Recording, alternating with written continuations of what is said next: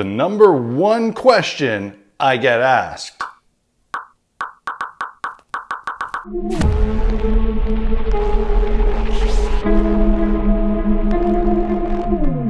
Where do you buy your insulation foam? Every single day, I get several people asking me some variation of the question, where do you buy your insulation foam? Where do you buy your pink foam? What is that foam? Where do I get it? And every day I spend a lot of time typing up answers. Sometimes it's hard for me to answer these questions because when someone in Lithuania is asking me where to buy insulation foam and they don't even fully understand what the product is, and I'm just a guy in Canada who makes silly videos, it's hard for me to find out and answer that question daily. But I'm gonna try to do it here for all of you guys uh, in one place the best I can. So first of all, what is the product I'm talking about? I'm talking about insulation foam. I use it on just about every single thing I build. Almost every tutorial on this channel involves this foam in some way or another. Often it's like 90% of the material used. So what is it? Well, it is a type of styrofoam. When I say styrofoam, I am not talking about that white stuff made out of a bunch of little pellets of foam that you get as packing material that breaks up and it flies everywhere and is staticky. That is a different thing. This foam is extruded polystyrene. The white stuff with the bubbles is expanded polystyrene. They are both foams, but they are manufactured in different ways. The big difference between the two is that extruded polystyrene is hard, solid, and dense. It doesn't just break up and crumble because it is one monolithic piece of foam the way it is made. It is not made of a bunch of little pellets squished together. This stuff carves beautifully. It's easy to work with. It's light. It's fairly inexpensive. You can draw stonework and brickwork and etching and all sorts of things that expanded polystyrene just is not good for. I'm gonna be honest, most of what I build cannot be made with expanded polystyrene. It just does not work the same way and it does not look as good. So just so you know exactly what you're looking for when you try to buy this stuff, this is not a crafting material. This is not an art supply. This is a building material. It is used to insulate homes and buildings. So that means you're gonna find it at building supply stores. When you are looking, it goes under many different names. And I think that's what causes a lot of confusion for people just starting out. The technical term for this styrofoam is, like I said, extruded polystyrene. It's often abbreviated as XPS, standing for extruded polystyrene. It's also called insulation foam it's also called rigid foam. Some people just call it pink foam or blue foam or green foam, depending on the color. Depending where you are, you may also hear it called SM, which I will touch on as to why in a minute. There are a few different brands that make this stuff. And here's where some more names come in. The pink stuff that you see me using all the time is by a company called Owens Cornings. They are the manufacturer of all sorts of insulation they're the ones that use Pink Panther in their branding. They make the pink stuff. And this stuff, by them, the actual product name that they sell it under is Foamular. Okay? There's also this blue stuff. It's the same material, but this stuff is made by a company called Dow. And their name for their product is SM. You may hear this stuff referred to as SM in general, at least where I'm from. I'm a contractor. I work in construction and renovations, and this stuff gets used a lot. And on a job site, in the trades, we call this stuff in general SM.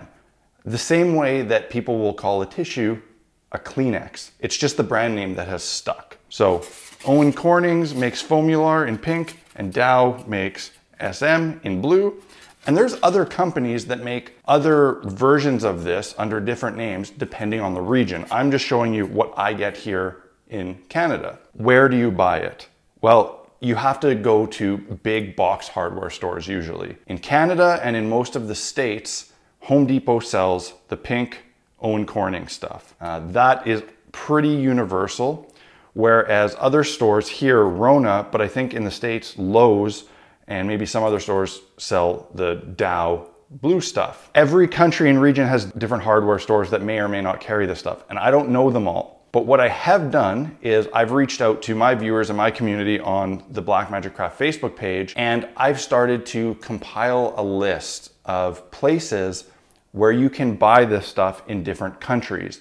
And that list is already, after just one day of reaching out, is starting to get pretty good. Whoever's watching this video now or in the future, if you go to my website, blackmagiccraft.ca, and check out my web shop, there is going to be a little section there where I focus on insulation foam and I'm going to keep a living, expanding list of where to buy it in different countries. Uh, the link to that will be in the description of the video and you can check it out. If you know a place in your country to buy this stuff and it's not on that list, drop a comment below and I will update the list. I want this to be as continually useful as possible for everybody. Another question that I get asked a lot is what's the difference between the pink stuff and the blue stuff or the green stuff or the yellow stuff? Why did you use pink on this or why did you use blue on this? If you are an absolute rookie beginner who has never used this stuff before, my answer to the question, is there a difference between the colors is no.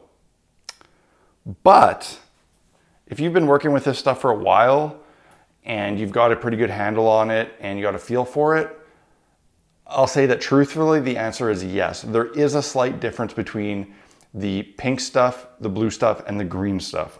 I can't speak for the other ones because I haven't worked with them. They are basically the same, but the blue stuff does tend to be slightly less rigid than the pink.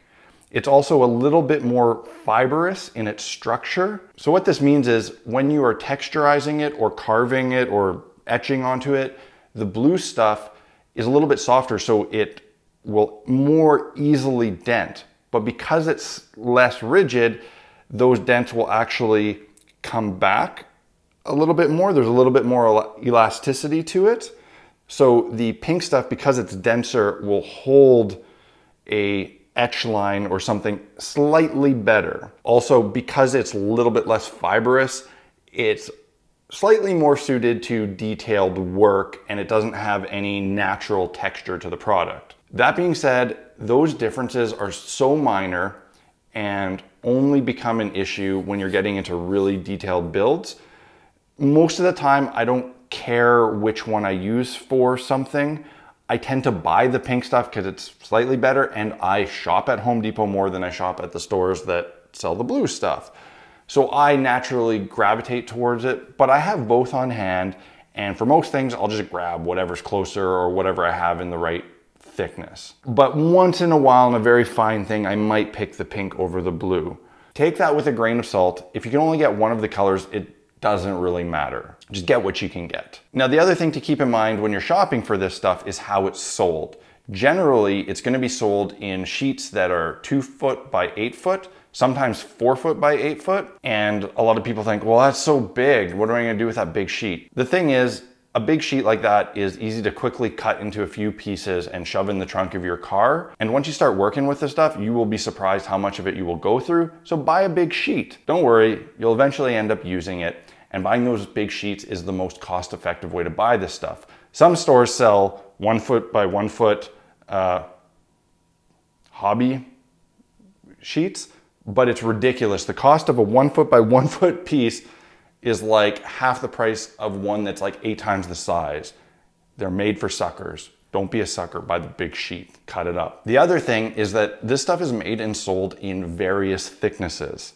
And what thicknesses are sold in your store is gonna be very dependent on region. From all the comments and stuff I've read from everyone, it seems like the more extreme of a climate you live in, either hot or cold, the more likely you're going to find this stuff easily and in a greater variety of thicknesses. Places with very moderate climates are gonna have a lower selection of it. Me, where I am, in the frozen wasteland, coldest city in the world, I can get it easily in any thickness. I can buy it off the shelf in half inch, three quarter inch, one inch, inch and a half, two inch, and sometimes four inch. So I can buy whatever I want you might be a little bit more limited. A lot of places only have two inch or one inch. So, you know, you might have to make do. I will say that if you can get it in half inch, that is the most versatile thickness uh, because it's great for tiles and stuff like that. Anything thicker gets really bulky. And the reality is there's no easy way to mill thick stuff down to thinner other than a hot wire table, which if you have one, great. You, I use mine all the time to make custom thicknesses, but if you don't have one, you really wanna try to buy the thickness that you're gonna use the most if possible. And while where do you buy your foam is probably the most common question I get asked, the second most common is often some variation of how do you cut the foam straight? How do you get cut it smooth? How do you cut it square? How do you cut it? Those are questions that I am going to answer fairly soon in upcoming basics videos. Just first want to get the where the hell do you buy this stuff out of the way. So again, check out my website, Link is in the description. Check out my web store. There's going to be the running list of places to buy it in different countries. So that should at least be a very good starting point for you guys. While you're there, you can take a look at all the other items that I have in the web shop. It's all the stuff that I personally use and stand behind. And if you wanna buy the same stuff and you're unsure what to get, go there, click on it, it'll take you to Amazon where you can buy it easily. And full disclosure, it's an Amazon affiliate store, which means if you guys buy something through those links, I get a small little cut. It's not much, but it helps the channel out. So it's a great way you can help the channel out while buying stuff you might buy anyway. And of course, if you guys found this video helpful, and I hope that you did, hit that like button, drop me a comment below, let me know what you think. Obviously, if you aren't already a subscriber to the channel, what, what the heck are you doing? click the button, man. I got lots of videos coming out. Just do it. Click it. If you want to help me help you, the best way you can do that is by supporting Black Magic Craft on Patreon. It is by far the best way you can help me out. All the funds help me to upgrade and maintain equipment for the channel, and more importantly, it allows me to dedicate more time to making these videos for you guys. If you feel like helping out, I would greatly appreciate it. So until next time, guys, cheers.